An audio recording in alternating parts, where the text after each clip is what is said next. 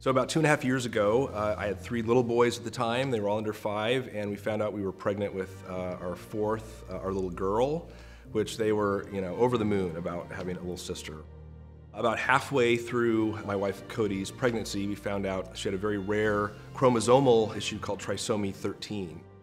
It's uh, never survivable, and we realized there's kind of one of two options. The baby, you know, will die in utero, or you'll, you'll have the baby and, and she'll die within you know, a few days or weeks after.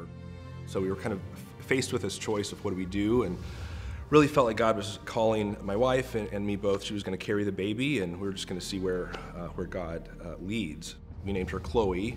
Uh, she died and we gave birth, my wife gave birth to a stillborn little girl. There's really nothing in the world that prepares you for something like that, you know, holding your little lifeless uh, girl in your hands and your arms.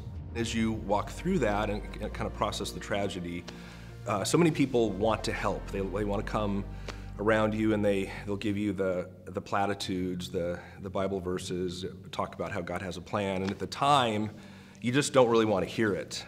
It takes a very rare group of people who can really just sit with you, come along beside you, and just walk through it with you and just be with you. And that's really what my NCS guys did for me and for our family, and they were part of just an amazing community that really came along beside us and, and walked through the whole journey through it.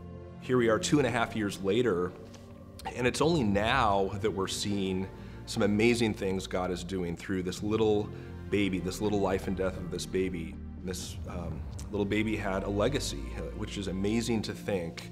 Uh, this little baby that, that never took a breath has an, amazing legacy, and we're very grateful for it. I'm grateful for my NCS guys who are there for me.